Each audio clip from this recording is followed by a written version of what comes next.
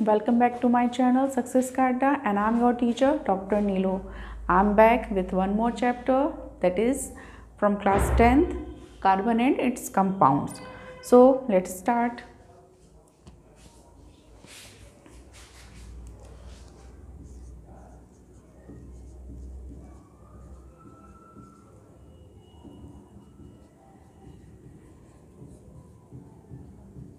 So carbon and its compounds we are going to study this chapter that is the chapter number 4. So first of all we should come to know what is the carbon. Carbon है सो so, हम लोग पहले पिछली classes में पढ़ चुके हैं कि कार्बन एक क्या है एलिमेंट है और का एलिमेंट से एक एलिमेंट जैसे कार्बन है, वो दूसरे एलिमेंट से मिलकर के क्या बनाता है?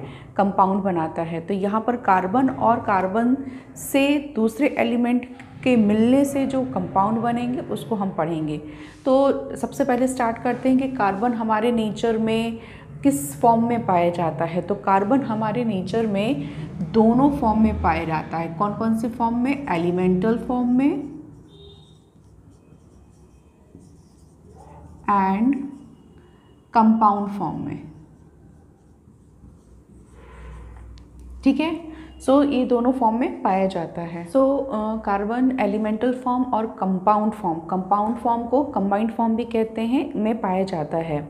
सो so, बेसिकली मैं आपको बता दूँ कि कार्बन uh, जो है मोस्ट ऑफ़ द थिंग्स में पाया जाता है। Most of the things either the clothes we are wearing the food which we are eating even we ourselves कोई भी लाइफ है चाहे वो प्लांट हो ह्यूमन हो एनिमल हो हर चीज़ में जो एक कॉम्पोजिशन बन रहा है उसमें कार्बन का होना मस्ट uh, है और कार्बन उसमें पाया जाता है।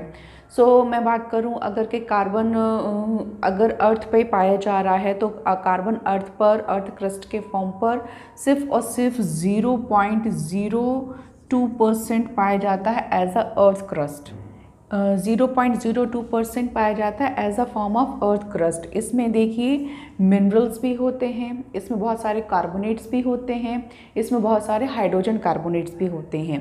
इसके अलावा ये zero point zero three percent में पाया जाता है हमारे एटमॉस्फेयर में गैसेस के फॉर्म पर, जैसे कि सी ओ टू एक्सेट्रा सो इस तरीके से आप देख सकते हैं कि कार्बन का एक बहुत इंपॉर्टेंट रोल है रोल है हमारी लाइफ में। हमारे लाइफ जो एग्जिस्ट कर रही हैं उसमें।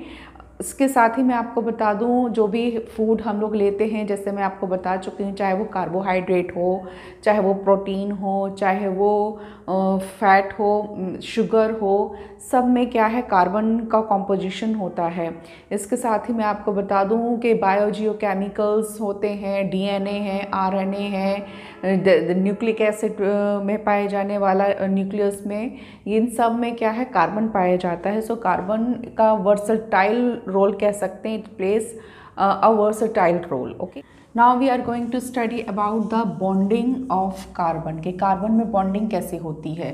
सो so, अभी पिछले चैप्टर्स में आपने पढ़ा था कि दो तरीके की बॉन्डिंग होती है एक होती है आयनिक बॉन्डिंग एक होती है कोवेलेंट बॉन्ड सो कार्बन किस ग्रुप को बिलोंग करता है? हम लोग को मालूम है कार्बन पी ब्लॉक को बिलोंग करता है और कार्बन जो है कोवेलेंट बॉन्ड बनाता है. सो so, इसके लिए हम पढ़ते हैं bonding of carbon atom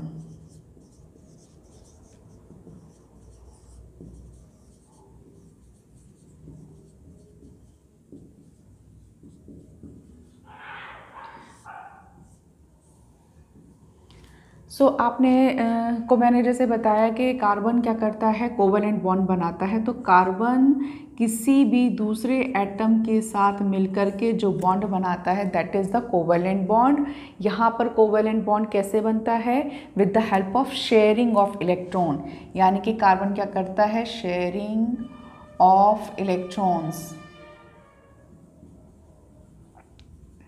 ठीक है? शेयरिंग ऑफ़ इलेक्ट्रॉन्स कार्बन की होती है और कार्बन से जुड़ करके जो दूसरा एलिमेंट कॉम्बिनेशन कर रहा है कंपाउंड बना रहा है केमिकल बॉन्डिंग कर रहा है, वो भी करता है, अपने इलेक्ट्रॉन्स को शेयर करता है और इस तरीके से bonding of carbon atom means covalent bond बनता है। Because of the covalent in nature because ये क्या बना रहा है? कोवेलेंट बॉन्ड बना रहा है तो ये किस नेचर का हुआ? कोवेलेंट नेचर का हुआ। आ, हम लोग पढ़ चुके हैं गैस ब्लॉक के जितने भी एलिमेंट्स होते हैं वो क्या करते हैं? आयनिक बॉन्ड्स बनाते हैं और इसी वजह से उनका मेल्टिंग एंड बॉइलिंग पॉइंट बहुत हाई होता है। सो so, चूँकि कार्बन की बात करें ये क्या है? पी ब्लॉक को बिलोंग करता है कोवेलेंट बॉन्ड बनाता है कोवेलेंट इन नेचर होता है। सो so, क्या होता है? एक्चुअली ये इनका melting point boiling point comparatively ionic compounds के कंपैरिजन में लो होता है। बात करते हैं कंडक्टिविटी की। कार्बन और कार्बन से मिलकर के जो कंपाउंड्स बनते हैं उनकी कंडक्टिविटी पुअर होती है। So we can say they have poor conductivity in comparison of ionic compounds जैसे कि हम लोग पढ़ चुके हैं कि कार्बन जो होता है, वो कोवेलेंट इन नेचर होता है बिकॉज़ ये कोवेलेंट बॉन्ड बनाता है। तो कोवेलेंट बॉन्ड बनने से क्या होता है, यहाँ पे शेयरिंग ऑफ़ इलेक्ट्रॉन हो रही है, यानी कि इलेक्ट्रॉन्स के बीच का इंटरमोलर मॉलिकुलर जो फोर्स है that is comparatively weak in comparison of the ionic compounds तो इस वजह से क्या होता है they are poor conductor are having low melting and boiling point uh, in comparison of ionic compounds अगर हम बात करें कार्बन के तो कार्बन की बहुत इंपॉर्टेंट चीज़ हम लोग कैसे मिस कर सकते हैं कार्बन का एटमिक नंबर कितना होता है? सिक्स होता है। तो इसका इलेक्ट्रॉनिक कॉन्फ़िगरेशन कितना आता है? टू एंड फोर आता है। तो इसके आउटर मोस्ट शेल में कितने इलेक्ट्रॉन होते हैं? फोर होते हैं। और इसको अपना ऑक्टेट कंप्लीट करने के लिए कितने और इलेक्ट्रॉन चाहिए होते हैं? फोर और इलेक्ट्रॉन चाहिए हैं। तो इसलिए इसकी यूजुअली आप देखेंगे कि ये क्या करता है? दो तरीके की कंडीशन शो करता है। That is plus minus four so condition one पढ़ते हैं। अगर ये फोर इलेक्ट्रॉन गेन करता है, उस कंडीशन पे ये क्या करेगा? ये एनाइन बनाएगा। ये क्या बनाएगा? एनाइन बनाएगा। और अगर ये फोर इलेक्ट्रॉन लूज़ करता है तो उस कंडीशन में क्या बनाएगा? कैटाइन बनाएगा। इन दोनों ही कंडीशन में आपको बता दूँ, अगर ये फोर इलेक्ट्रॉन्स गेन करता है तो फोर इलेक्ट्रॉन गेन करने पे क्या हो जाएगा? यहाँ पर जैसे कि इसका electronic configuration two o four था प्लस फोर और हो जाएगा तो टोटल कितने इलेक्ट्रॉन हो जाएँगे यहाँ पर? टू फोर फोर यानी कि टोटल टेन इलेक्ट्रॉन्स हो जाएँगे। इलेक्ट्रॉन्स ठीक है? जबकि इसके न्यूक्लियस में टोटल नंबर ऑफ़ प्रोटॉन कितना है? फोर टू सिक्स प्रोटॉन कितना है? सिक्स प्रोटॉन है।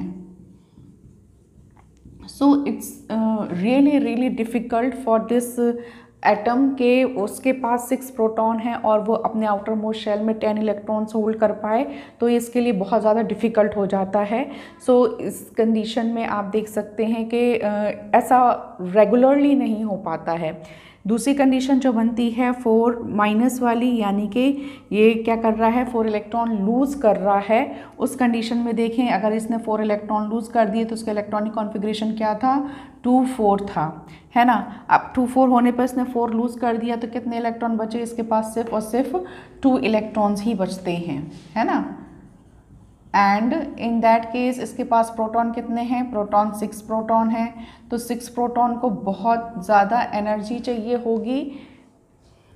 सो so, इसको बहुत इसके एटम को बहुत ज़्यादा एनर्जी की ज़रूरत पड़ेगी इन फोर इलेक्ट्रॉन्स को लूज़ करने के लिए और इसके आउटर मोस्ट शेल में टू इलेक्ट्रॉन्स को होल्ड करने के लिए। तो यहाँ पर दो कंडीशंस बनती हैं और दोनों कंडीशंस में एक अलग अलग रीज़न हैं। प्लस फोर और माइनस फोर होने का तो जब ये वैलेंसी शो करते हैं, ये शेयर्ड पेयर ऑफ़ इलेक्ट्रॉन्स बनाते हैं या कोवेलेंट बॉन्ड बनाते हैं कोवेलेंसी शो करते हैं तो इस पर ये दोनों तरीके की कंडीशन फॉलो कर सकते हैं।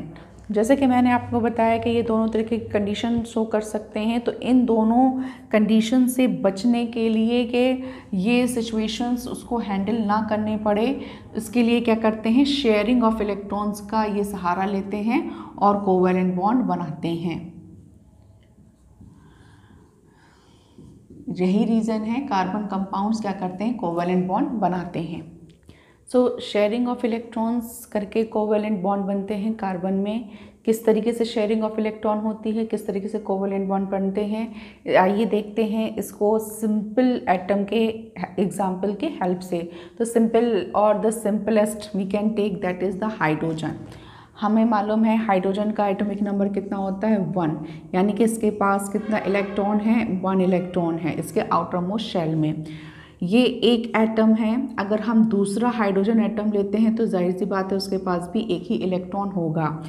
यूजुअली हाइड्रोजन को नेक्स्ट आता है हीलियम जो कि एक इनर्ट गैस है तो इनर्ट गैस इलेक्ट्रॉनिक कॉन्फ़िगरेशन को कंप्लीट करने के लिए इसको सिर्फ़ और सिर्फ़ वन इलेक्ट्रॉन और चाहिए। सो वन मोर इलेक्ट्रॉन के लिए यानी कि ये क्या करेगा? अपना डुप्लेट कंप्लीट करेगा। तो ये एक हाइड्रोजन दूसरे हाइड्रोजन से क्या करेगा? शेयरिंग ऑफ़ इलेक्ट्रॉन करेगा और शेयरिंग करने से ये बीच में एक डैश एक लाइन के थ्रू शो करेगा और ये जो डॉट्स हैं, ये डॉट्स इलेक्ट्रॉन को शो करते हैं। इनको डॉट या क्रॉस के थ्रू भी हम रिप्रेजेंट कर सकते हैं।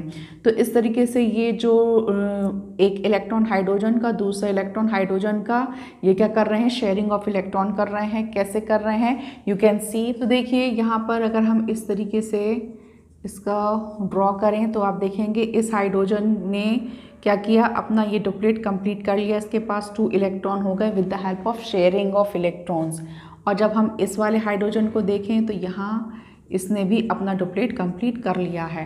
तो इस तरीके से ये एक सिंपल एग्जांपल है समझने के लिए।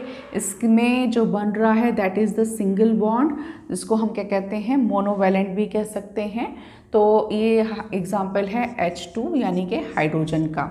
ठीक है? इसके अलावा हम दूसरे एग्ज़ाम्पल ले सकते हैं इसको समझने के लिए that is the O two O two मतलब टू ऑक्सीजन ऑक्सीजन का मतलब आप समझ रहे हैं ऑक्सीजन का एटॉमिक नंबर कितना होता है? ऑक्सीजन का एटॉमिक नंबर होता है एट उस हिसाब से अगर हम देखें तो इसका इलेक्ट्रॉनिक कॉन्फ़िगरेशन कितना हुआ? टू एंड सिक्स तो इसके आउटर मोस्ट शेल में कितने इलेक्ट्रॉन्स आएँगे? सिक्स इलेक्ट्रॉन आएँगे. So one two three four five six okay one, two, three, four, five, six. अब देखिए, इसको अपना ऑक्टेट कंप्लीट करने के लिए कितने इलेक्ट्रॉन चाहिए? इसको दो इलेक्ट्रॉन और चाहिए। सो आप देख सकते हैं, ये क्या करेगा? टू इलेक्ट्रॉन दूसरे ऑक्सीजन से लेगा, एक ऑक्सीजन दूसरे से लेगा और दूसरा वाला पहले से लेगा। तो यहाँ आप देख सकते हैं, अगर हम इस तरीके से ड्रॉ करें इसे, ये। इस तरीके से ड्रॉ करें तो आप देखेंगे कि two two four two six and two eight octet complete हो गया है ऑक्सीजन का। ठीक इस तरीके से अगर हम यहाँ ये ड्रॉ करें तो आप देख सकते हैं इसका भी ऑक्टेट कंप्लीट हो गया है। And it is making this and this double bond between the oxygen atom तो इसको डाइवेलेंट भी कह सकते हैं। नेक्स्ट एग्ज़ाम्पल मैं लेती हूँ that is for the N two N two मतलब नाइट्रोजन नाइट्रोजन को अगर हम देखें तो नाइट्रोजन का एटॉमिक नंबर कितना होता है? सेवन होता है। और इसका इलेक्ट्रॉनिक कॉन्फ़िगरेशन करेंगे तो कितना हो जाएगा? टू एंड फाइव हो जाएगा। तो इसका आउटर मोस्ट शेल में कितने इलेक्ट्रॉन है? फाइव इलेक्ट्रॉन है। और इसको कितने इलेक्ट्रॉन और चाहिए अपना ऑक्टेट कंप्लीट करने के लिए?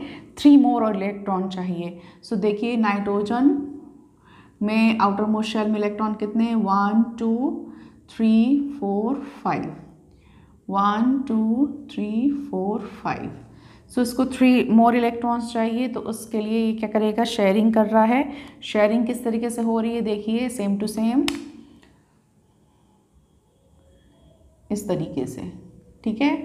Two three five six seven eight ठीक, इसी तरीके से आप यहाँ देख लीजिए शेयरिंग ऑफ़ इलेक्ट्रॉन्स के साथ। इसमें क्या हुआ? Two three five three four five six seven eight और इसने क्या किया? इस तरीके से ये शेयरिंग ऑफ़ इलेक्ट्रॉन के बीच में बॉन्ड बना this is the triple bond इसको ट्राइवेलेंट भी कह सकते हैं। यहाँ पे ट्रिपल बॉन्ड बन रहा है। This is the example of covalent यहाँ पर डाइवेलेंट है। बन रहा है।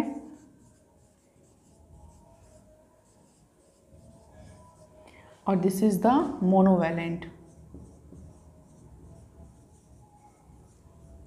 ठीक है? तो इस तरीके से आप देख सकते हैं यहाँ पर कोवेलेंट ने अपने आप को थ्री टाइप्स में डिवाइड किया हुआ है that is the monovalent double bond यानी कि divalent and the triple bond यानी कि ट्राइवेलेंट इसको सिंगल बॉन्ड ठीक है? इसके अलावा ये तो एग्ज़ाम्पल हो गए किस तरीके से शेयरिंग ऑफ़ इलेक्ट्रॉन हो रहा है। इसके साथ अब हम पढ़ेंगे कार्बन कार्बन किस तरीके से शेयरिंग ऑफ़ इलेक्ट्रॉन करता है? तो उसके लिए बहुत ही सिंपल सा एग्ज़ाम्पल लेते हैं that is the methane methane यानी कि सी एच फोर अब यहाँ पे देखिए किस तरीके से शेयरिंग ऑफ़ इलेक्ट्रॉन्स के थ्रू ये कोवलेंट बॉन्ड बना रहा है। कार्बन। सबसे पहले कार्बन यहाँ सिंगल है तो कार्बन सेंटर में आएगा और चूँकि ये इलेक्ट्रॉन निगेटिव भी है, इसलिए ये सेंटर में आता है। ये आप लोग बाद में पढ़ेंगे। कार्बन के एटॉमिक नंबर हम यहाँ लिख देते हैं। कार्बन का एटॉमिक नंबर कितना होता है? सिक्स होता है और उस हिसाब से इसके electronic configuration two and four है। तो आउटर मोशोर में outermost outermost layer में कितने इलेक्ट्रॉन आएँगे? These are the four then you can see one two three and four ठीक है? फोर इलेक्ट्रॉन्स हैं इसके आउटर मोस्ट शेल में और इसको फोर मोर इलेक्ट्रॉन्स चाहिए अपनी वैलेंसी सेटिस्फाई करने के लिए ऑक्टेट कंप्लीट करने के लिए। तो यहाँ देख सकते हैं फोर हाइड्रोजन है। So one hydrogen two hydrogen three hydrogen and four hydrogen और ये क्या कर रहे हैं? ये इस तरीके से अपना शेयरिंग ऑफ़ इलेक्ट्रॉन इस तरीके से बॉन्डिंग कर रहे हैं। ये बॉन्डिंग हो रही है। ये सिंगल सिंगल बॉन्डिंग हो रही है। अब देखिए इसका ऑक्टेट कैसे कंप्लीट हो रहा है। One two three four electron तो थे ही इसके पास। बाकी फोर हाइड्रोजन के फोर हाइड्रोजन के फोर इलेक्ट्रॉन्स इसके पास आ गए। देख लीजिए अब कितने इलेक्ट्रॉन हो गए? One two three four five six seven eight और हाइड्रोजन को अपना डुप्लेट कंप्लीट करना है तो अब उसको देख लीजिए। ये देखिए। One two one two one two and one two तो इस तरीके से इसका जो स्ट्रक्चर बना, क्या बना? ये इलेक्ट्रॉन डॉट स्ट्रक्चर है और इसका स्ट्रक्चर जो बना, वो क्या है? इस तरीके से मीथेन का स्ट्रक्चर हमको मिला। ठीक है? Now the allotropes of carbon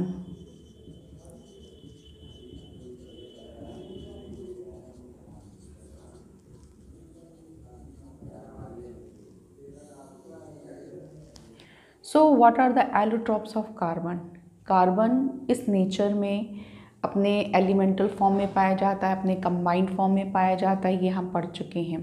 साथ ही ये अपने एलोट्रॉप्स फॉर्म में भी पाया जाता है। एलोट्रॉप्स फॉर्म्स मतलब कार्बन ही है बट ये अपने थोड़ा सा डिफरेंट फॉर्म में पाया जा रहा है। That is called allotropes of allotropes of carbon अब ये डिफरेंट फॉर्म क्या है? चलिए देखते हैं। कार्बन अपने दो मेन एलोट्रॉप्स में पाया जाता है। ये टू मेन एलोट्रॉप्स क्या हैं? The very first is graphite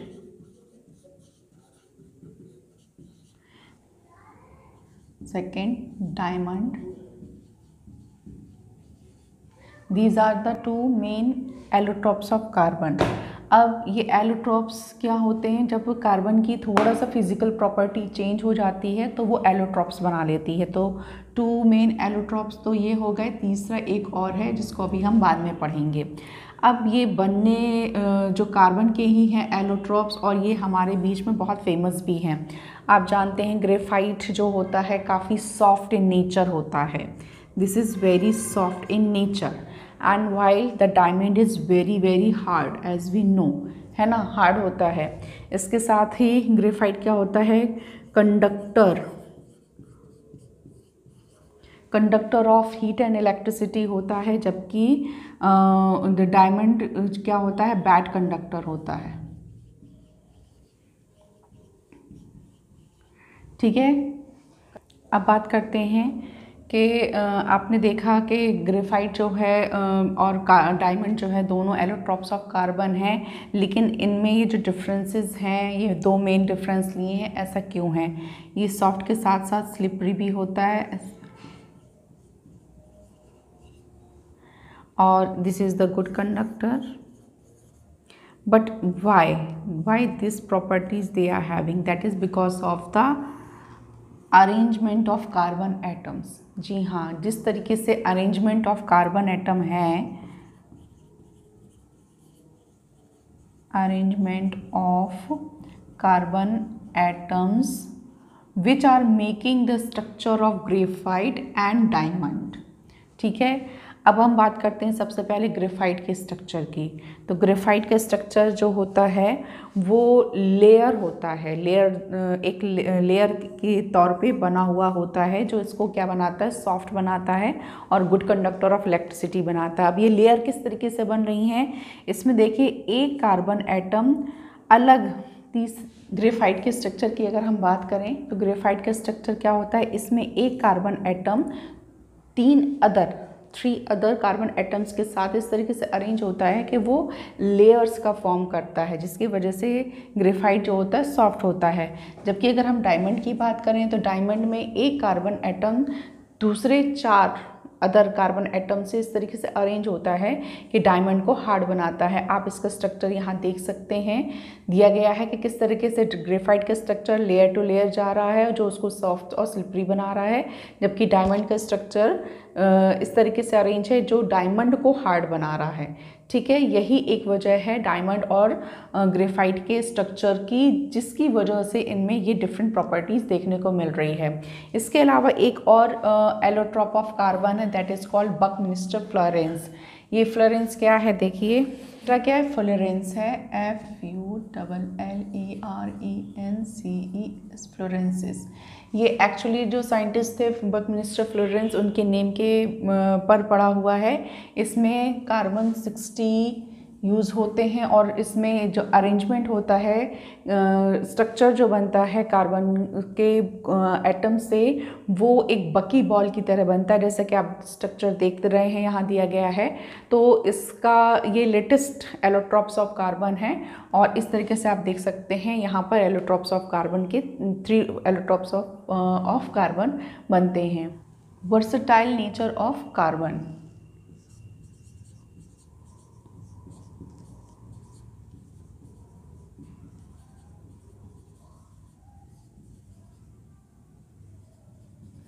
so so, starting में ही मैं आपको बता चुकी हूँ कि कार्बन क्या है? वर्सिटाइल नेचर मतलब एक एक ऐसा यूनिक नेचर रखता है जो डिफरेंट तरीके से अलग अलग रूपों में अलग अलग जगह पाया जाता है अलग अलग चीज़ों के कॉम्बिनेशन में यूज़ होता है। तो इसका बहुत ही वर्सटाइल यूज़ है ठीक है? वर्सटाइल को एक शब्द में बोलें तो ये बहुमुखी है। ये आ, हर जगह इसका यूज़ हो रहा है चाहे वो ह्यूमन बॉडी ही क्यों ना हो हम ही क्यों ना हो? हमारे बनने में कार्बन का एक बहुत इंपॉर्टेंट रोल है। इसके साथ ही इसके अंदर टू इंपॉर्टेंट यूनिक नेचर पाए जाते हैं। वो नेचर क्या है? देखते हैं। The very first the very first is catenation catenation को बोलते हैं सेल्फ लिंकेज प्रॉपर्टी मतलब ये एक कार्बन दूसरे कार्बन से सेल्फ अटैच होता चला जाता है और एक लंबी सीरीज़ एक लंबी चेन बना लेता है, जिसको कैटिनेशन कहते हैं। अब ये चेन स्ट्रेट भी हो सकती है ब्रांच भी हो सकती है साइकिल भी हो सकती है। तो इसमें आप देख सकते हैं कि self linkage property of carbon is called the catenation so catenation so so, जैसे कि मैंने बताया कि self linkage property so self linkage से ये क्या कर रहे हैं? बॉन्ड बना रहे हैं। कार्बन और कार्बन के बीच बॉन्ड बन रहा है। इससे इस तरीके से ये लिंक होते जा रहे हैं। ये इस तरीके से। या तो ये स्ट्रेट चेन में जाएँगे या तो ये कार्बन के साथ इस तरीके से ब्रांच बना लेंगे। ठीक है? इस तरीके से एक स्ट्रेट लाइन जा रही है, ये ब्रांच बन रहा है। इसके साथ में साइकिल भी बन जाएगी इसकी इस तरीके से। ठीक है? तो इस तरीके से ये क्या हो रहा है? सेल्फ लिंकेज प्रॉपर्टी है। अब आपको मैं बता दूँ कि यहाँ पर आपने देखा सिंगल बॉन्ड ठीक है? जब कार्बन और कार्बन दो कार्बन के बीच एक सिंगल बॉन्ड होता है, या यूँ कह लीजिए, कार्बन कार्बन के बीच सिंगल बॉन्ड है, या कार्बन कार्बन से सिंगल बॉन्ड के थ्रू एड है लिंक्ड है तो इस तरीके का जो कंपाउंड होंगे, वो क्या कहलाए जाएँगे? वो सैचुरेटेड सैचुरेटेड कंपाउंड कहलाए जाएँगे। ठीक है? दूसरा कार्बन और कार्बन अगर डबल बॉन्ड से ऐड हैं, या दो कार्बन के बीच में डबल बॉन्ड है सो इस कंडीशन में ये अनसेचुरेटेड कंपाउंड कहलाए जाएँगे। इसके अलावा तीसरा भी है, जिसमें कार्बन और कार्बन के बीच ट्रिपल बॉन्ड होता है। तो वो उस कंडीशन में भी ये अनसेचुरेटेड कंपाउंड कहलाते हैं। तो मैं आपको बता दूँ कि यहाँ पे दो कैटेगरी हैं the category one saturated compound और दूसरी है अनसेचुरेटेड कंपाउंड यहाँ पर सेचुरेटेड में सिर्फ़ सिंगल बॉन्ड आता है और अनसेचुरेटेड में डबल और triple bond between the carbon आता है। Now the second property second property क्या है कार्बन की? कार्बन की सेकेंड प्रॉपर्टी ये है कि कार्बन ना सिर्फ़ कार्बन से मतलब एक कार्बन दूसरे कार्बन से सेल्फ लिंकेज होकर के कैटिनेशन कर रहा है, बल्कि दूसरे अदर एलिमेंट के साथ भी क्या करता है बॉन्ड बनाता है केमिकल बॉन्डिंग करता है। तो हम आपको बता दें, और आप कई बार पढ़ चुके हैं, कार्बन की वैलेंसी कितनी होती है? फोर है। तो अगर ये मोनोवेलेंट है तो उस केस में मैं आपको बता चुकी हूँ, जैसे मिथेन का एग्जांपल लिया था तो ये हाइड्रोजन से ऐड हो सकता है। ये दूसरे अदर एलिमेंट्स हैं, उनसे भी ऐड हो सकता है और कंपाउंड बनाता है। अब वो एलिमेंट कौन कौन से हैं? यहाँ हाइड्रोजन का तो एग्ज़ाम्पल हम देख चुके हैं। इसके अलावा सल्फ़र है, नाइट्रोजन है क्लोरीन है ऑक्सीजन है हाइड्रोजन है एंड द हाइड्रोकार्बन्स का फॉर्म बन रहा है कार्बन और हाइड्रोजन से हैलोजन्स uh, हैं उनके साथ ये कंबाइन होता है। तो इस तरीके से ये क्या कर रहा है अदर uh, एलिमेंट्स के साथ ये कंबाइन होकर के अपनी वैलेंसी सेटिस्फाई करके कंपाउंड बनाता है। और जो दूसरे एलिमेंट्स के साथ जुड़ रहे हैं तो कार्बन की तो अपनी एक प्रॉपर्टी जो है, सो है दूसरे एलिमेंट की भी एक अपनी प्रॉपर्टी होती है। नाउ द गो हैड अगर हम देखें कार्बन अगर एक मोनोवेलेंट जैसे कि यहाँ पर हाइड्रोजन के पास भी एक इलेक्ट्रॉन था और कार्बन के पास यहाँ पर एक इलेक्ट्रॉन से इसने फोर इलेक्ट्रॉन है बट एक इलेक्ट्रॉन से हाइड्रोजन ने बॉन्डिंग की है। तो यहाँ पे देख रहे हैं आपके एक स्मॉल बॉन्ड बन रहा है और स्मॉल कंपाउंड बन रहा है तो इस केस में जो ये कंपाउंड बनेंगे वो कैसे होंगे? स्टेबल होंगे कंपैरेटिवली लार्जर कंपाउंड्स के। क्यों? क्योंकि उस केस में क्या होगा? हम आपको बता दें कि कार्बन का जो साइज़ होता है एटॉमिक रेडियस वो अपने ग्रुप के एलिमेंट्स के कंपैरिजन में छोटा होता है। ये हम लोग चैप्टर पैराटिक टेबल में पढ़ चुके हैं। सो so, इस वजह से क्या होगा? जब इसमें छोटा स्मॉल कंपाउंड बनेगा तो इलेक्ट्रॉन्स न्यूक्लियस के कॉन्ट्रैक्ट में थोड़ा ज़्यादा रहेंगे और वहाँ पर उनको होल्ड करने में उनको कैपेसिटी ज़्यादा लगेगी। तो इसलिए ये ज़्यादा स्टेबल होंगे कंपैरेटिवली लार्जर कंपाउंड्स के। वहाँ पर थोड़ा सा वीक फोर्स हो जाता है न्यूक्लियस से। सो इसलिए ये uh, जो लार्जर कंपाउंड्स होते हैं they are the weak saturated and unsaturated compounds.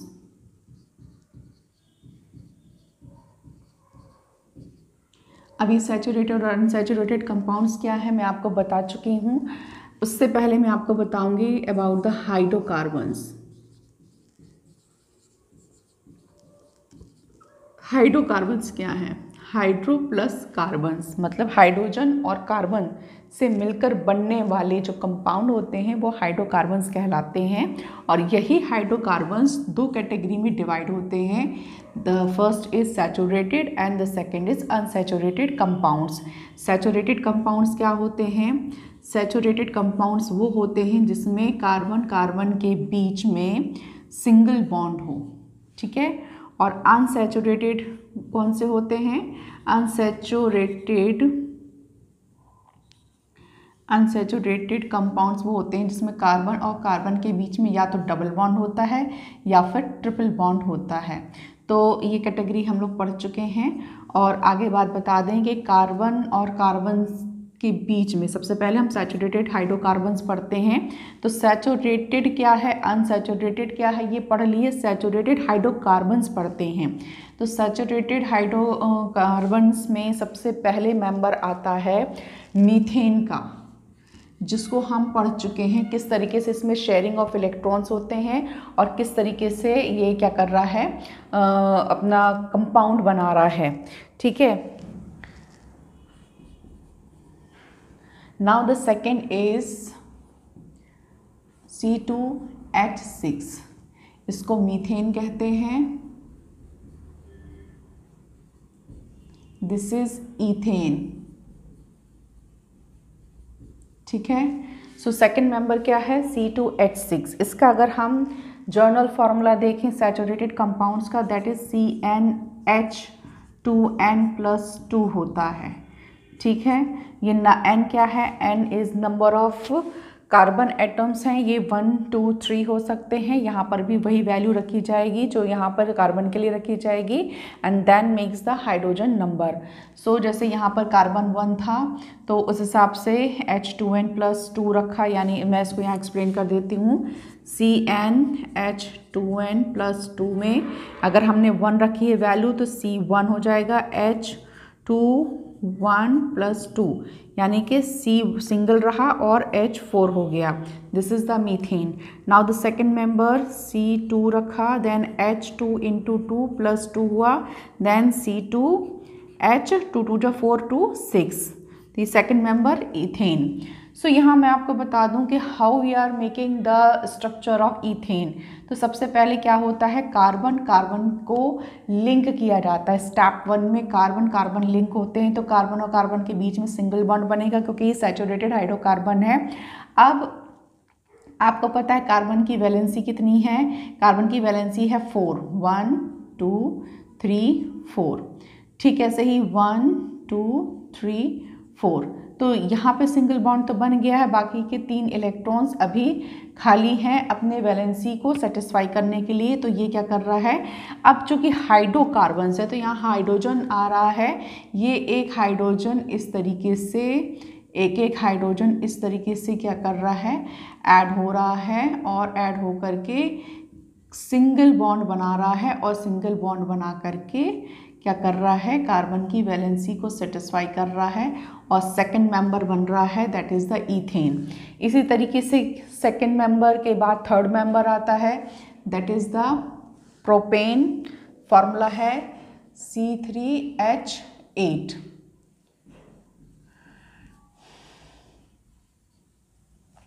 how you can see three H two three plus two C three three two eight so इस तरीके से इसका मेंबर हो गया। नाउ द अनसेचुरेटेड हाइड्रोकार्बन अब unsaturated hydrocarbons में सबसे पहले हम लेते हैं double bond between the carbon atom यहाँ अगर हम देखें तो यहाँ पर डबल बॉन्ड है, यानी कि ये दो इलेक्ट्रॉन्स के बीच में शेयरिंग ऑफ़ इलेक्ट्रॉन हो गया है। अब बाकी कितने इलेक्ट्रॉन बच रहे हैं? इस कार्बन को देखें तो इसके one two three four one, two, three, four for this carbon. अब ये क्या करेंगे? ये हाइड्रोजन से क्या करेंगे? बॉन्डिंग करेंगे। और बॉन्डिंग करके क्या करेंगे? पेयर करके डबल बॉन्ड बनाएँगे। तो स्ट्रक्चर किस तरीके से बन रहा है? या मैं फेयर स्ट्रक्चर बना रही हूँ। इस तरीके से स्ट्रक्चर बन रहा है। ये। तो यहाँ पर आप देखिए, पहला मेंबर कौन सा है इसका? पहला मेंबर है इसका सी टू एच फोर है ना? पहला मेंबर है, इसका जर्नल फार्मूला क्या होता है? इसका जर्नल फार्मूला होता है C n H two n होता है। यहाँ पर C की वैल्यू वन रखते हैं। इसका फ़र्स्ट मेंबर बनता है, लेकिन वो बहुत बहुत बहुत कम टाइम के लिए बनता है, जिसकी स्टडी प्रॉपर नहीं की जा सकती। तो इसलिए फ़र्स्ट मेंबर हम C2 से ही काउंट करते हैं। तो N की value two three four five six पढ़ेंगे। तो देखिए इसको अगर हम C की वैल्यू टू रखते हैं then two H two and two तो कितना हो जाएगा? C two H two two जा फोर ये फ़र्स्ट मेंबर निकल के आया that is the ethene this is ethene, okay? This is ethene. अब बात करते हैं अनसेचुरेटेड में triple bond of carbon atom की।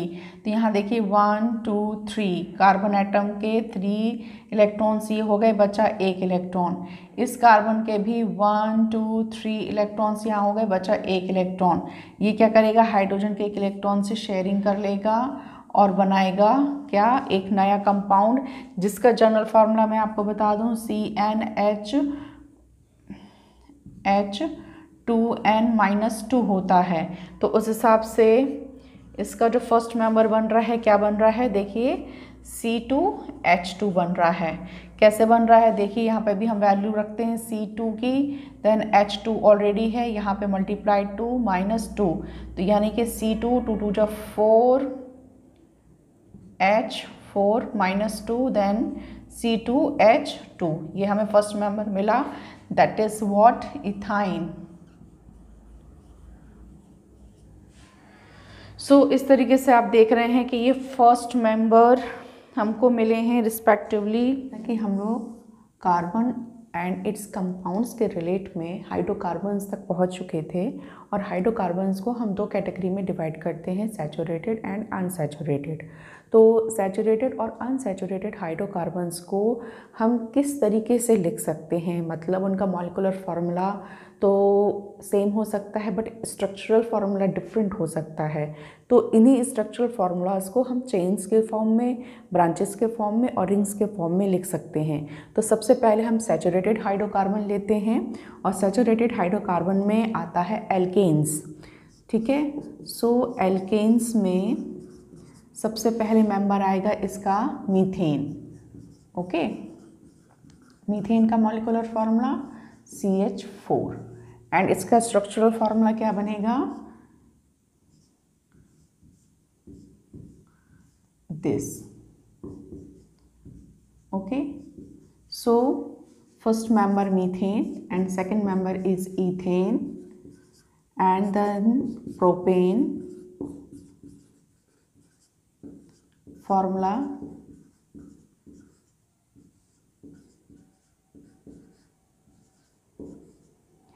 इन सब में इनके चेन स्ट्रक्चर्स बनेंगे, ठीक है?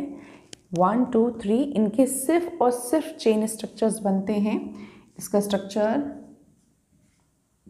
इस तरीके से यहाँ पे ये हाइड्रोजन ऐड हो जाएगा। इसमें थ्री कार्बन की चेन जा रही है। और इस तरीके से ये हाइड्रोजन इसमें ऐड हो जाएगा।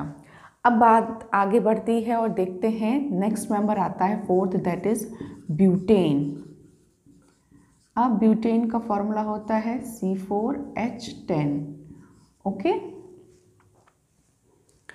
अब ब्यूटेन से अगर देखा जाए तो चेन स्ट्रक्चर तो बनता बनता है, साथ में यहाँ पर ब्रांच स्ट्रक्चर भी बनना स्टार्ट हो जाता है। ब्यूटेन से लेकर के आने वाले मेंबर्स में चेन और ब्रांच दोनों तरीके के स्ट्रक्चर्स बनेंगे। तो इसके दो स्ट्रक्चर किस तरीके से बन रहे हैं, देखते हैं। पहला तो चेन बनेगा वन, टू, थ्री, फोर। तो इसमें देख लीजिए, इसका स्केल्टन है कार्बन फोर चेन में आ रहे हैं और इसका स्ट्रक्चर इस तरीके से हाइड्रोजन के ऐड होने से बन जाएगा। ठीक है ना? इसका ब्रांच स्ट्रक्चर देखिए। One, two, three and four ये कार्बन का स्केल्टन स्ट्रक्चर बना है। इसमें देखिए हाइड्रोजन यहाँ ऐड हो जाएगा, यहाँ ऐड होगा। अब देखिए, यहाँ पर वन बॉन्ड टू बॉन्ड और थर्ड बॉन्ड ये है। तो फोर्थ बॉन्ड या तो यहाँ ऐड हो सकता है या फिर इसको हम नीचे ऐड कर सकते हैं। कहीं पे भी ऐड हो सकता है। तो देखिए फोर बॉन्ड बन रहे हैं। ये हाइड्रोजन ऐड हो गया। यहाँ पे देखिए इस तरीके से ये वन, टू, थ्री और four bond. One, two, three और ये फोर्थ इस तरीके से इसका ब्रांच स्ट्रक्चर बनेगा। और यहाँ पे तो सिंपल आपको मालूम है हाइड्रोजन इस तरीके से ऐड हो जाएँगे। अब यहाँ देखिए, ये जो दो स्ट्रक्चर आपको दिख रहे हैं, इनका मॉलिकुलर फार्मूला तो सेम है बट स्ट्रक्चरल फार्मूला आपको डिफरेंट देखने को मिल रहा है। चूँकि इनका स्ट्रक्चरल फार्मूला डिफरेंट देखने को मिल रहा है, इस वजह से ये क्या कहलाते हैं? Isomers structural isomers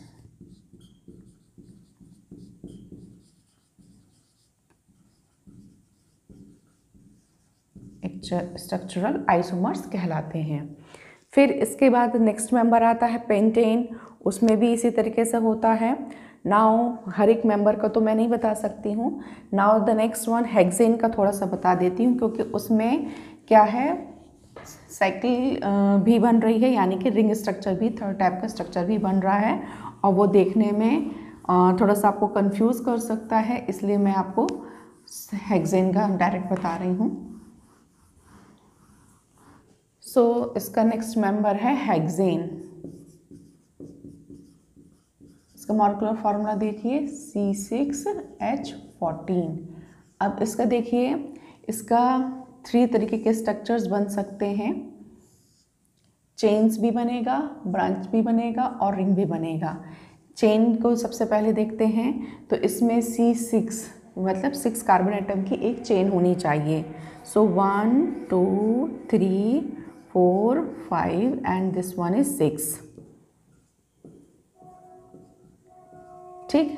अब ब्रांचेस की कई तरीके की बन सकती हैं। One two three four five यहाँ इस तरीके से भी कार्बन ऐड हो सकता है और इसमें ये हाइड्रोजन और यहाँ ये कार्बन और इस तरीके से हाइड्रोजन हो गए सिक्स तो इस तरीके से ये ब्रांच ब्रांच के कई बन सकते हैं। ठीक है? हमारा यहाँ पे नई चीज़ इंट्रोड्यूस क्या कर रहे हैं हम? रिंग्स को। तो रिंग्स को देखते हैं। रिंग्स के लिए देखिए, यहाँ पे सी सिक्स है। तो one two three four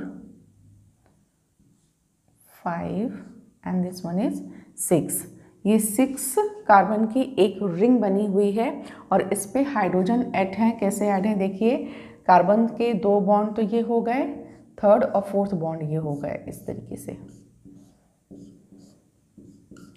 और यहाँ पे ये हाइड्रोजन ऐड हो जाएँगे।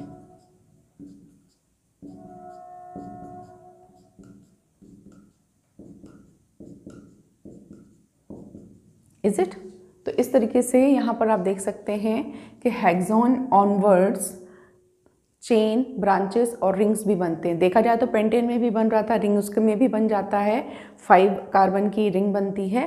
But it's better to explain you why because मैं आपको एक चीज़ बताने जा रही हूँ। आपने सुना होगा और आपको पढ़ना भी है that is the benzene ring benzene ring क्या होती है? बेंजीन यानी कि इसका फॉर्मूला होता है? सी सिक्स एच सिक्स होता है। देखिए फॉर्मूला डिफरेंट है। यहाँ पे भी सी सिक्स है।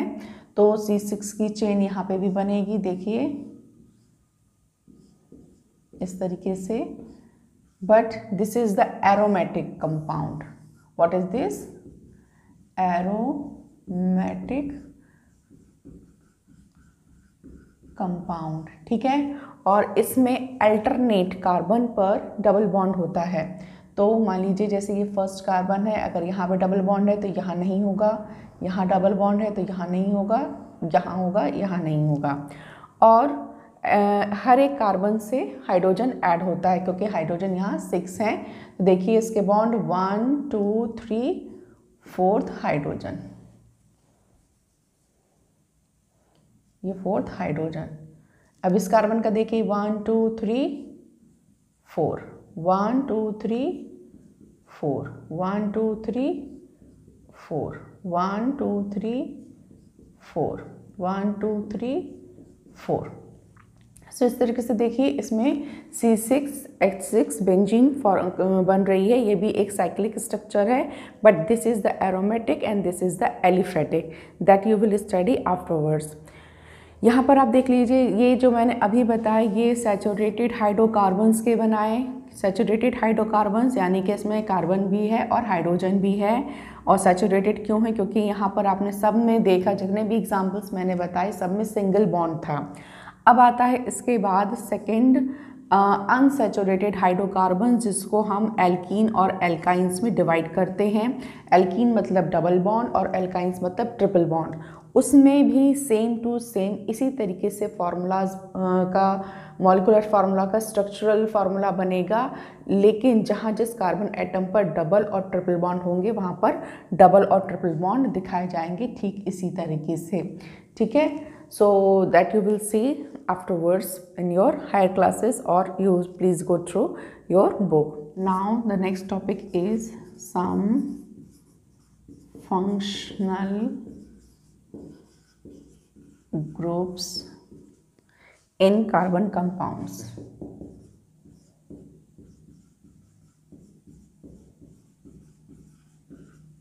Okay. So let me tell you अभी तक हम लोगों ने कार्बन पढ़ा कार्बन से बनने वाला हाइड्रोकार्बन्स पढ़ा, उसकी कैटेगरी सैचुरेटेड अनसैचुरेटेड पढ़ी, ठीक है अब मैं आपको बता दूँ कि ये जो कार्बन और हाइड्रोजन से बनने वाली जो एक चेन थी, इसमें अगर ये कार्बन और ये हाइड्रोजन है, अगर कोई दूसरा एलिमेंट भी जुड़ सकता है या नहीं तो मैं आपको बता दूँ कि with the removal of hydrogen atom it can be add with the another elements also वो एलिमेंट्स कौन कौन से हो सकते हैं? वो एलिमेंट्स हो सकते हैं like nitrogen like sulphur like halogens and like oxygen so इस तरीके से ये जो एलिमेंट्स हैं, ये एलिमेंट्स भी इस हाइड्रोकार्बन्स में जाकर के जुड़ सकते हैं with the removal of one hydrogen atom so जब ये एलिमेंट जाकर के जुड़ते हैं तो ज़ाहिर सी बात है, पहले हाइड्रोकार्बन्स में अपनी एक अलग प्रॉपर्टी थी। जब ये एलिमेंट्स जा कर के जोड़ेंगे तो कोई भी एक एलिमेंट जोड़ेगा तो वो अपनी एक अलग कैरेक्टर शो करेगा। यानी कि वो एक अपना कैरेक्टर उसमें डाल करके एक अलग ग्रुप एक अलग क्वालिटी शो करेगा। That calls the functional group for that compound तो ये क्या करेंगे? फंक्शनल ग्रुप का काम करेंगे। और जब ये अपनी एक अलग प्रॉपर्टी शो करेंगे तो किस तरीके की प्रॉपर्टी शो करेंगे? Let me tell you so ये अपनी प्रॉपर्टी करेंगे regarding the length of the bond regarding the length of the uh, carbon and whatever the nature of the functional group the uh, like this and that is why these are called the functional group और ये जो elements हैं ये इस पूरे compound में क्या कहलाए जाएँगे हेट्रोएटम्स कहलाए जाएँगे इज़ इट हाँ आप टेबल देख सकते हैं किस तरीके से इन एलिमेंट्स के एडिशन से यहाँ पर एक नया ग्रुप बन रहा है। किस तरीके से नए फंक्शनल ग्रुप बन रहे हैं? By the removal of one hydrogen atom now see the next topic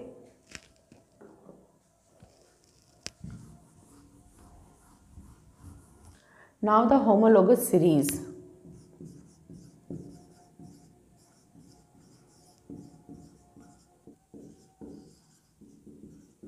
homologous series ये होमोलोगस सीरीज़ क्या है? चलिए देखते हैं।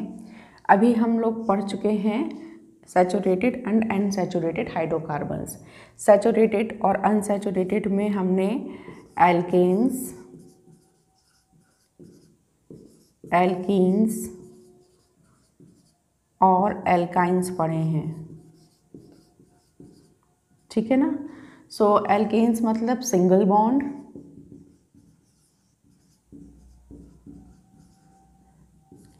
double bond. And the third is triple bond.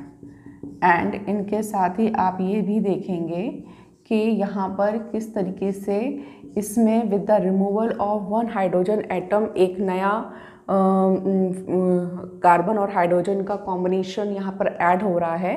और उससे नया मेंबर का बन रहा है। और नया मेंबर में और पुराने मेंबर में क्या फ़र्क है? और जो फ़र्क है जिस एक यूनिट की वजह से that is called the homologous series so let see सबसे पहले एल्केन्स का फ़र्स्ट मेंबर क्या होता है? मीथेन सी एच फोर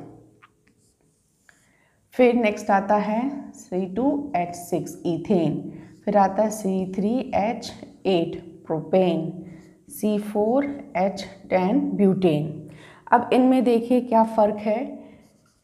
यहाँ देखिए C H two C H two ठीक है। यहाँ देखिए C H three C H three it क्या ये सही है? जी हाँ बिल्कुल सही है। देखा जाए तो सी एच टू यहाँ सी एच टू है, यहाँ C H three C H three है। लेकिन इस मेंबर से, इस मेंबर में डिफरेंस कितने का आ रहा है? इसमें इसको इस तरीके से भी लिख सकते हैं C H four and C H two तो देखिए फ़र्स्ट मेंबर क्या था? सी एच फोर था, ये सी एच फोर है। नया मेंबर बनने के लिए कितना एडिशन हो गया? है सी एच टू का एडिशन हो गया है। ठीक, इस तरीके से इसको भी देख लीजिए। C H three C H two C H three three carbon है वन टू थ्री एट है hydrogen three two six three two five and three eight so अब यहाँ देख लीजिए, इसमें कितना फ़र्क आ रहा है? तो इसमें देख लीजिए, पुराने मेंबर से नए मेंबर में फिर सी एच टू का डिफरेंस आ रहा है।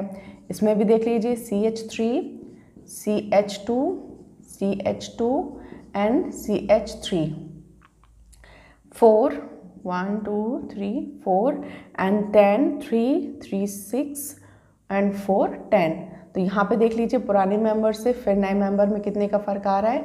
सी एच टू का। तो यहाँ देख लीजिए सब में एक यूनिट सामने नज़र आई है that is C H two that unit is called the homologous series जो ऐड होते होते नए मेंबर को बना रही है। ये तो था एल्केन्स के लिए, है ना? ये सारे के सारे मेंबर्स किसके थे? एल्केन्स के थे। अब हम यही चीज़ एल्कीन्स में देखेंगे। यहाँ देख लीजिए फ़र्स्ट मेंबर है C two H four C three H six and C four H eight so इनमें हम पढ़ते हैं। इनके लिए देख लीजिए सी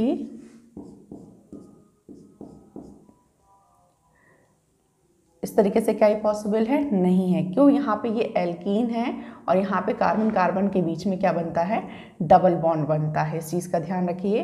तो ये carbon carbon double bond and then बाकी के दो जो हैं, वो हाइड्रोजन इस तरीके से ऐड हो जाएँगे। नाउ यू कैन सी कि इसमें हम होमोलोगस सीरीज़ पढ़ रहे हैं। तो होमोलोगस सीरीज़ में देखिए फ़र्स्ट मेंबर को हम इस तरीके से लिख सकते हैं। C C H two and C H two two carbon and four hydrogen लीजिए, इसके लिए होगा C H three C H C H two और इसके लिए भी C H three C H two C H double bond C H two तो यहाँ देख लीजिए थ्री कार्बन है one two three eight six three one four five six यहाँ वो फोर है carbon one two three and four hydrogen eight three two five six seven eight इनमें भी देख लीजिए, पुराने मेंबर से नए मेंबर को बनने में किसका एडिशन हो रहा है? सी एच टू का। तो यहाँ पर भी इसमें होमोलोगस सीरीज़ क्या है? सी एच टू ये जो यूनिट है this is the homologous series now see the next one regarding the alkynes जो ट्रिपल बॉन्ड बना रहा है ट्रिपल बॉन्ड के लिए, इसका फ़र्स्ट मेंबर क्या है? इसका फ़र्स्ट मेंबर है it's first member is C two H two इसमें देख लीजिए one and two carbon and देख लीजिए यहाँ पर सी एच टू ही है।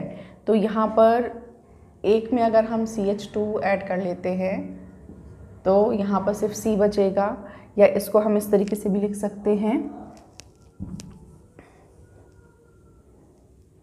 यूजुअली यहाँ पे कार्बन और कार्बन के बीच में ट्रिपल बॉन्ड बनता है तो इसका सही स्ट्रक्चर इस तरीके से बनेगा कार्बन कार्बन ट्रिपल बॉन्ड और साइड में इसके हाइड्रोजन इस तरीके से।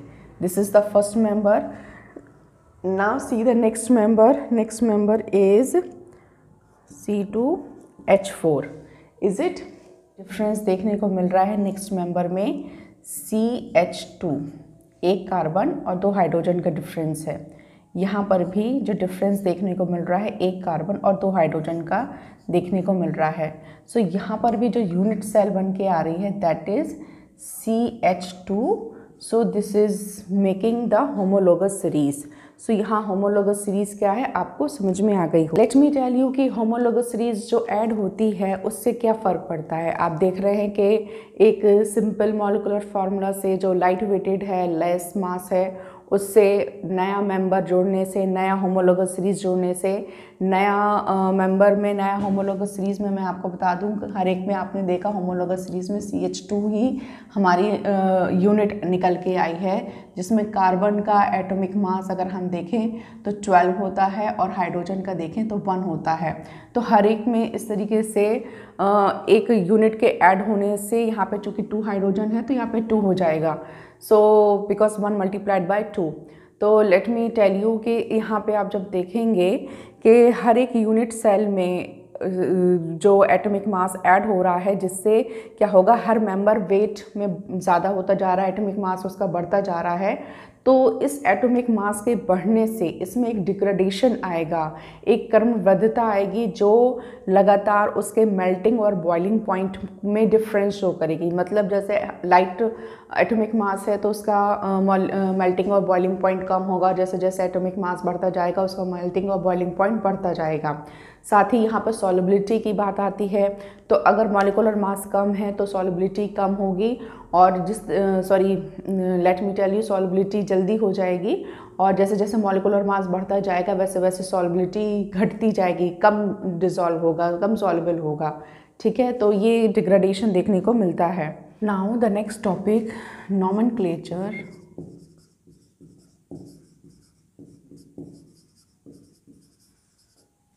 carbon compounds.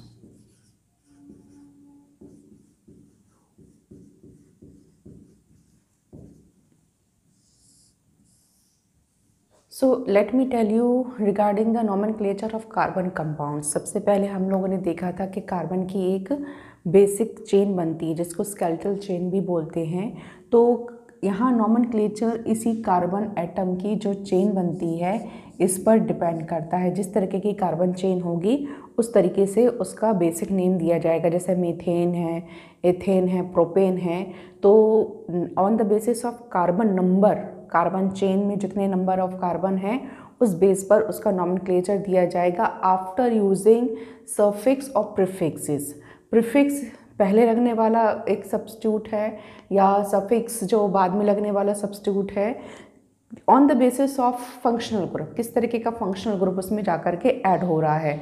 जैसे कि अगर हम अल्कोहल की बात करें तो अल्कोहल एक जो फंक्शनल ग्रुप है, इसके फंक्शनल ग्रुप को शो करने के लिए ओ एल एक वर्ड है ओ एल इसको ऐड किया जाता है। और ये ओ एल कहाँ यूज़ किया जाता है? एज अ सर्फिक्स यूज़ किया जाता है। जैसे अगर हम बात करें मीथेन मीथेन हमारा मेंबर था जिसमें कार्बन एक लगता है सी एच फोर इसका फॉर्मूला है। तो इसमें जो मेथेन से क्या बन जाएगा? मेथेनॉल बनेगा। मेथेनॉल कैसे बनेगा? अब इसमें देखिए, इसके कुछ कंडीशन नंबर वन ये आती है कि मेथेनॉल यानी कि ये ई e अलग होकर के ओ एल ऐड हो जाएगा। तो क्या बनेगा? आपका मेथेनॉल इज़ इट तो इस तरीके से यहाँ पर कुछ रूल्स हैं इसके तो हम रूल्स पे बात करते हैं। ये मैंने आपको एग्जांपल दिया था कि जिस तरीके से यहाँ पे देख लीजिए, एक सफिक्स जोड़ा हुआ है। ऐसे ही बहुत से फंक्शनल ग्रुप होते हैं जो प्रिफिक्स की तरह यूज़ होते हैं और किस तरीके से स्केल्टल चेन कार्बन यूज़ हो रही है। तो आइए देखते हैं इसके formal rules so rule number one देखते हैं। सो रूल नंबर वन यही है कि सबसे पहले हमें कार्बन नंबर जो चेन में ऐड है, उसको आइडेंटिफाई करना है। मतलब कौन सी चेन है? क्या ये एल्केन की है? एल्कीन की है या एल्काइंस की है? कितने नंबर ऑफ़ कार्बन हैं? One two three four many more so उस बेस पर उसका जो बेसिक नेम आता है हाइड्रोकार्बन का, वो नेम उसको दिया जाएगा। That is the rule number one now the rule number two is so जैसा कि मैंने आपको बताया, सबसे पहले स्केल्टल कार्बन चेन और उसका हाइड्रोकार्बन बेस पे नेम दिया जाएगा। फिर उस पर अगर कोई सब्सट्यूट जुड़ा हुआ है तो सब्सटीट्यूट उस पर जो जुड़ा है, वो एक्चुअली फंक्शनल ग्रुप है और वो फंक्शनल ग्रुप या तो प्रिफिक्स या सफिक्स की तरह उस पर ऐड किया जाएगा डिपेंड करता है किस तरीके का फंक्शनल ग्रुप है। Now the rule now the rule number three तो रूल नंबर थ्री भी आप यहाँ इस इसी चीज़ को इंडिकेट करता है। यहाँ पे मीथेन से मेथेनॉल बना था। चलिए यहाँ पे ओ एल एल्कोहल ग्रुप था। हम नया एक ग्रुप ले लेते हैं। चलिए प्रोपेन लेते हैं। प्रोपेन ये एक सेचुरेटेड हाइड्रोकार्बन है एल्केन मेंबर का। इसमें भी ई e रिमूव होगा विद द हेल्प ऑफ़ जो सब्सटीट्यूट यानी कि, यानी, जो फंक्शनल ग्रुप मैं लेने जा रही हूँ, यहाँ पे मैं ले रही हूँ कीटोन का। कीटोन तो कीटोन का ओ एन ई जा कर के ऐड होगा किससे? प्रोपेन से by the removal of E तो नया क्या बनेगा? नया मेंबर जो बनेगा वो होगा प्रोपेनोन प्रोपेनोन ये नया मेंबर बन के आएगा. सो so, यहाँ पे भी देखिए ये सफिक्स की तरह यूज़ हुआ है after removal of E okay now the rule number four तो रूल नंबर फोर सैचुरेटेड के अलावा जो अनसेचुरेटेड हाइड्रोकार्बन्स आते हैं तो मैं आपको बता चुकी हूँ सैचुरेटेड हाइड्रोकार्बन्स और अनसेचुरेटेड हाइड्रोकार्बन्स में भी जो लास्ट का वर्ड इसमें ऐड होता है, उसको रिमूव करके किया जाता है, जैसे बात करते हैं सैचुरेटेड का एक एग्ज़ाम्पल ले लिया हमने प्रोपेन ठीक है? तो प्रोपेन का ए एन ई एन अलग हो जाएगा, किसका? अगर ये अनसेचुरेटेड डबल बॉन्ड है तो ये बन जाएगा propene E N E add हो गया। और ये अगर ट्रिपल बॉन्ड है तो ये propyne Y N E add हो जाएगा। तो इस तरीके से इसमें सिंगल बॉन्ड इसमें डबल बॉन्ड और इसमें ट्रिपल बॉन्ड के साथ इसका फॉर्मूला बनाया जाएगा। और उस बेस पे जो सब्सिट्यूट या फंक्शनल ग्रुप होगा उसको ऐड करके इसका भी नमन किया जा सकता है। यहाँ आप टेबल देख सकते हैं टेबल दी गई है। टेबल की में आपको सारे के सारे जो फंक्शनल ग्रुप आपके लिए यूज़फुल हैं, वो दिखाए गए हैं। किस तरीके से ऐड हो रहे हैं, कौन सा फंक्शनल ग्रुप ऐड हो रहा है और कौन सा नया कंपाउंड बन रहा है। ये सारी चीज़ें आपको दी गई हैं so please go through it so dear students आज के वीडियो में बस इतना ही। नेक्स्ट वीडियो में मैं इसका बचा हुआ पोर्शन लेके आऊँगी और ये पूरा चैप्टर फिनिश कर दूँगी। उम्मीद करती हूँ आई होप आपको मेरा ये वीडियो पसंद आए होंगे। और अगर आपको मेरे ये वीडियो पसंद आए हैं तो प्लीज़ इन्हें लाइक करना ना भूलें। और अगर तक, अगर अभी तक आपने मेरे चैनल को सब्सक्राइब नहीं किया है so please go through it do subscribe and please do like and तब तक के लिए बाय टेक केयर